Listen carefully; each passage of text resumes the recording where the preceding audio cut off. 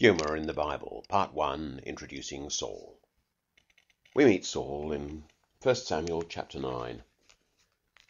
There was a man of Benjamin whose name was Kish, son of Abiel, son of Zeror, son of Bechorath, son of Aphiah, a Benjaminite, a man of wealth.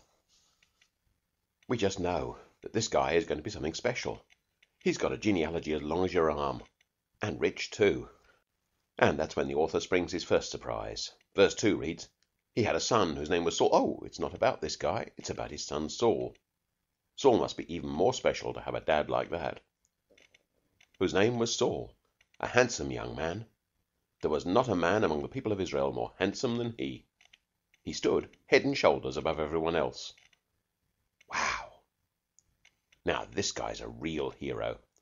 Pedigree as long as your arm, rich dad, handsome, the most handsome guy around, and he's tall too, head and shoulders above everyone else. Whew! You know you can't get into hero school unless you're tall and handsome, and probably well muscled too. Well, Saul would have no trouble getting in. And that's where we get our second surprise. You see, the book up to this point has been slowly but surely steadily building up the picture that Israel needs a king, Israel wants a king, and Israel, by golly, is going to get a king. And now we've been introduced to this tall, handsome Saul. Verse 3. Now, the donkeys of Kish. Donkeys? Okay, donkeys are important to peasant farmers. But to kings? Now, the donkeys of Kish, Saul's father, had strayed. So Kish said to his son Saul, Take one of the boys with you and go and look for the donkeys. A simple enough request, you'd think. He passed through the hill country of Ephraim and passed through the land of Shalishah, but they did not find them. Then they passed through the land of Sha'alim, but they were not there. Then he passed through the land of Benjamin, but they did not find them. Hey, what's going on? How come this tall, handsome stud can't find a few missing donkeys? And what's with all these places? Where the heck is Shalisha? There's no Shalisha on any sensible map I've ever seen. And what about Sha'alaim? Look 'em up in a Bible dictionary and see what you find. Intelligent guesses. We don't know where they were. They're not real places. Their names are there to draw our attention to the fact that Saul has been shilly shallying around all over the countryside, shilly shallying to Shalisha, shilly shallying to Sha'alaim. Everything but finding donkeys. Now, despite the shilly shallying, our Saul's not totally thick. So, verse 5, when they came to the land of Zuph, Saul said to the boy who was with him, Let's turn back, or my father will stop worrying about the donkeys and worry about us. Yeah, I expect so. I mean, if I'd sent my son out to look for the cat, I wouldn't expect him to go wandering around for days on end.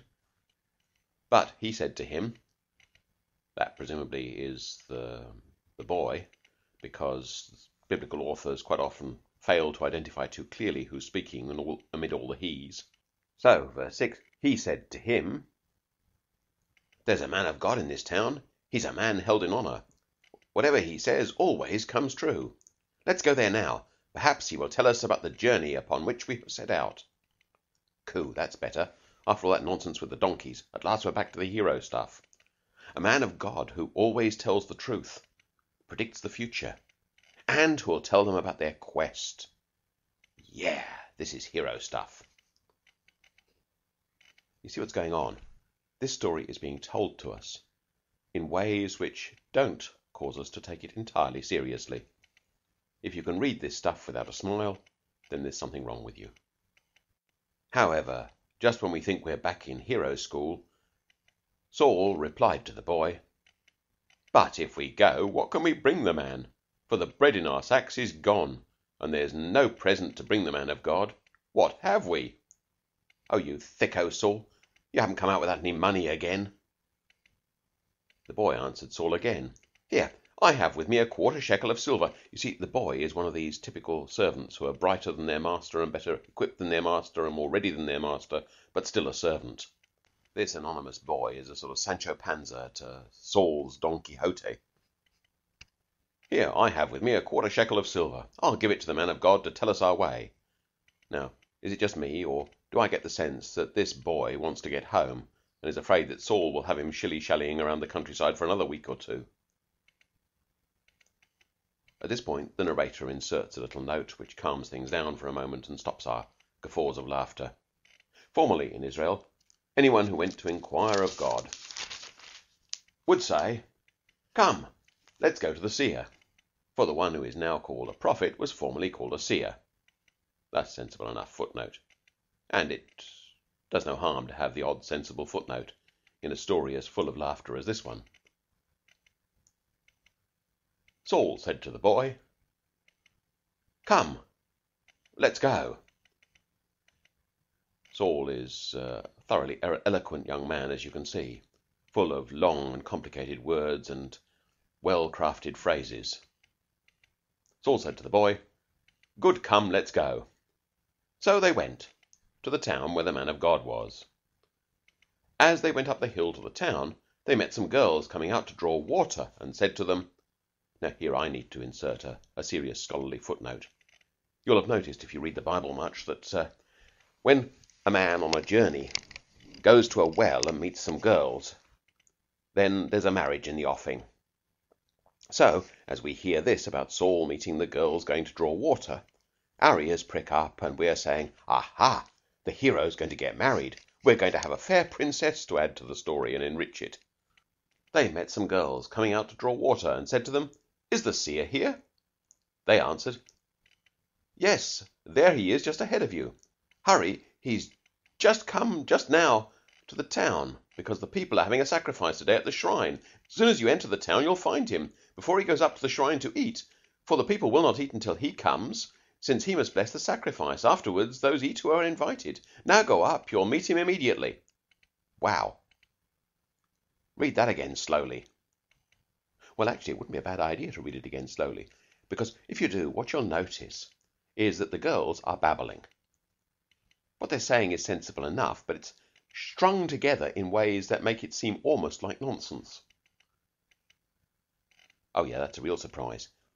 Here are these girls faced with a handsome stranger, the most handsome man in all the land, who is, on top of that, head and shoulders taller than any other guy they've ever seen. It's no wonder they're babbling. And they're going they're meeting him on their way to the well.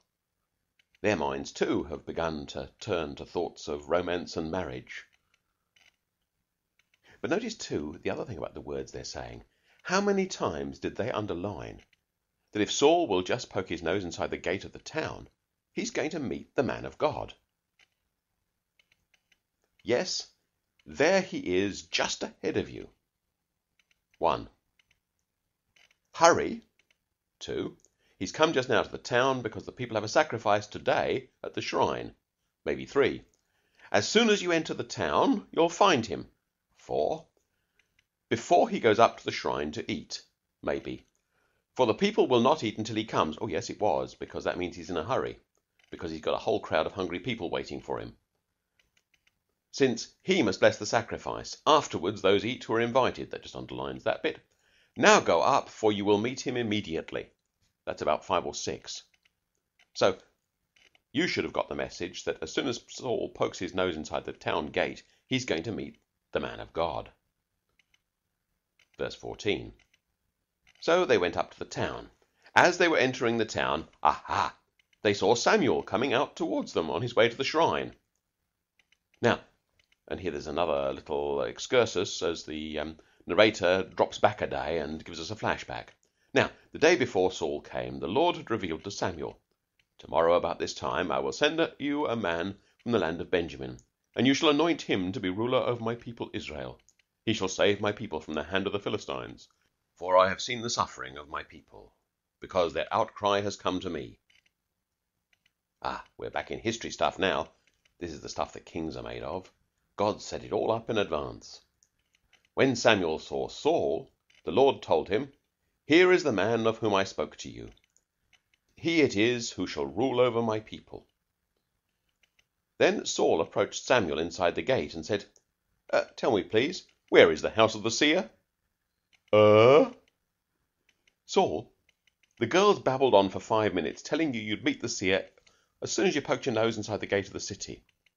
Every one else has gone out to the feast. They're all there waiting, every single one of them. Just the girls were left. And you meet a man a fairly distinguished elderly man coming out of the city. Haven't you any idea who it is?" "Tell me, please, where is the house of the seer?" This story is told in ways which just can't help but make you laugh. Chuckle or fall down laughing that's up to you, but laugh you have to. And at the moment we're not too sure why we're laughing.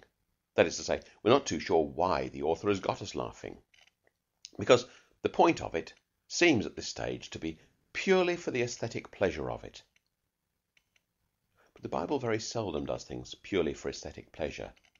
As we read on further in the story of the rise of kingship in Israel, we'll discover why we're laughing at Saul the buffoon the guy who was head and shoulders taller than everyone else and the most handsome man in the land.